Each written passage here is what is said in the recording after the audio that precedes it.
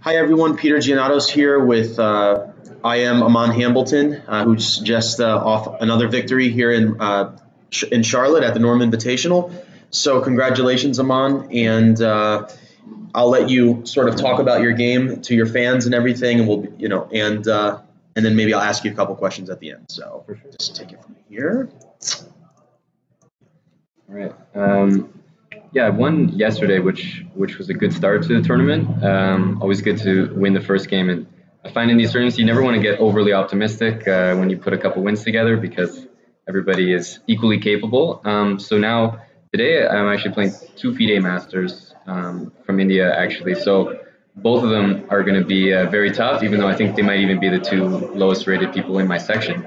Um, I'm expecting uh, Nimzo from Gauri Shankar, my opponent here. And I've been playing a couple different lines, uh, but I decided to with queen c2 today.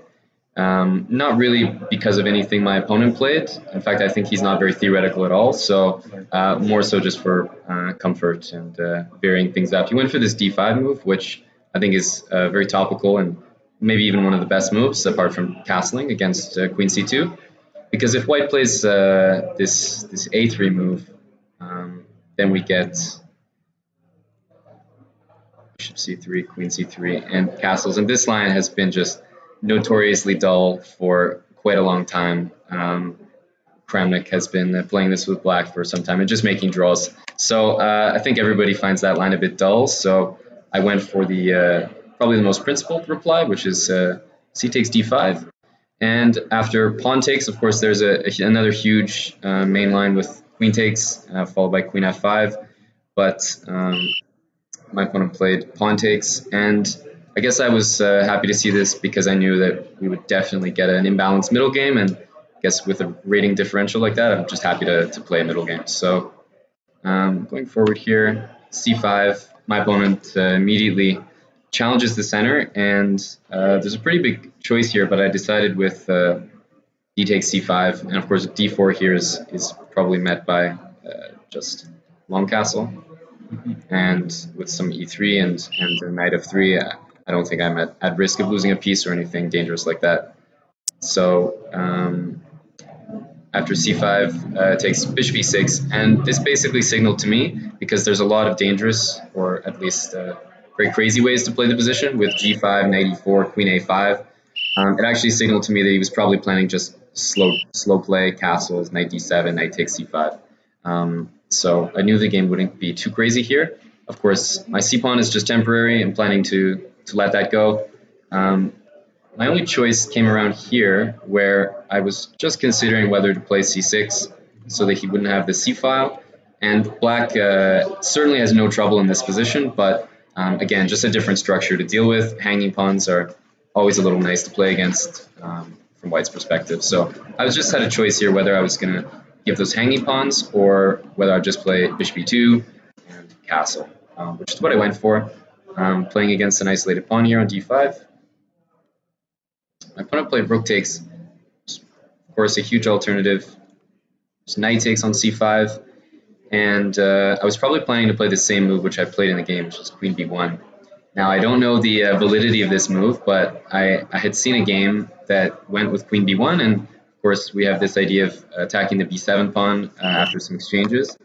And although my c pawn is weak, the b7 and d5 pawns are also weak. So uh, on top of that, I have the dark squares uh, under my control. So um, I was happy to, to go into that. And after rook takes c5, um, I essentially went for the same idea um, because I wasn't sure whether rook c1, g5, bishop g3, knight e4 with c3 under a lot of fire here. Um, this may turn into a pawn sack, and I wasn't necessarily sure whether I uh, had to do that just yet. So I thought I'd commit to that a little bit later um, by going for queen b1, bishop c3, pawn c3, and now we have a nice imbalance uh, from my perspective, and I think my opponent had a very critical choice here to play queen b6 and sort of bail out because I have a lot of attractive options here, like starting with bishop f6, and if pawn takes, I can even consider just some move like this, keeping the queens on the board, yep. and something like knight d4, and I can imagine a queen arriving on h5 in the near future, and that's probably worth a pawn to me. Um, and if knight takes, then potentially a very pleasant endgame would arise after queen takes, pawn takes, and despite the fact that the C and A pawns may be traded for these double B pawns, even in the worst case, I like White's uh, control over the D4 square, but it's not even that clear that both of these pawns will get traded. So uh, I certainly liked my chances here. Nothing, nothing special, but a tough variation to go for. I think if you're black, you know, a couple, couple uh, double pawns on the F file and B file are not always attractive. So my opponent went for B6, which uh, certainly looks like a, a, great solid move, but there's a lot that uh, remains to be seen because of uh, the move bishop a6, which will attack a rook when it comes to the c file. And I think my opponent severely underestimated that, uh, the power of that move. So if we go forward a little bit, knight on e4, uh, of course, rook c1, and now queen f6 and knight d4. And at this point, I was extremely happy because I, I knew that a move like rook c8, uh, increasing the pressure, would be met very strongly by bishop a6. And you can remove my uh, bishop on g3 before playing rook c8 or even right now. Um, but even in a position where you play rook c7, there's always a move like knight b5. So there's no easy way to maintain this this uh, double rooks right. on the c file. Um, and for that reason, my opponent actually spent quite a lot of time here. Um, so got very low on time as well, and that partly contributed to some of the moves that he made uh, from this point on. But he went for knight e5, and uh, I spent not very much time here and, and decided that f4 was very critical, um, which is which is what I played.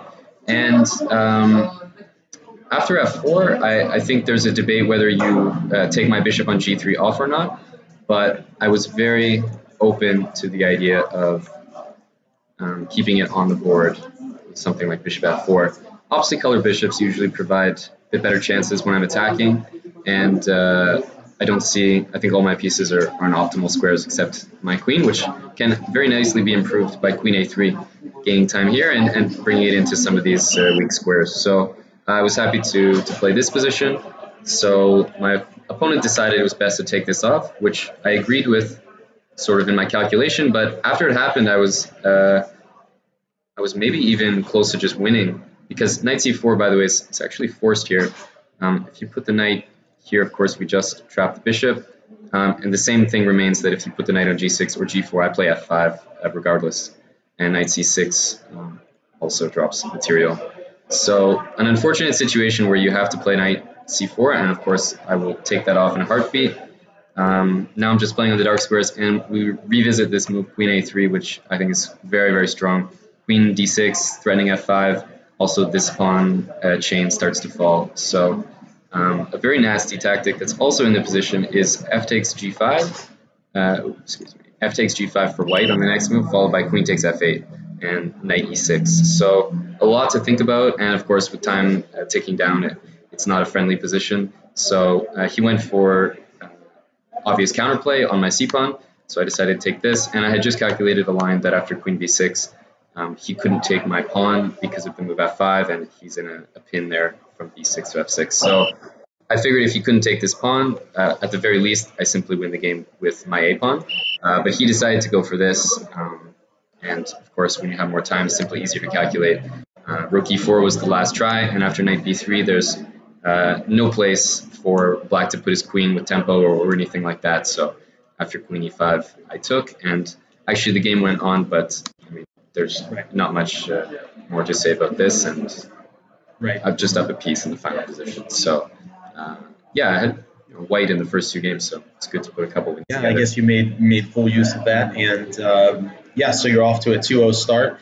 And there's been a lot of activity between uh, your, you know, the Chessbrahs um, Twitter and the Charlotte Chess Center Twitter, and like so.